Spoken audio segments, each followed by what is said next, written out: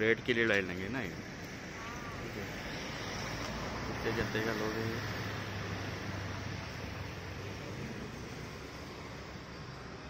distance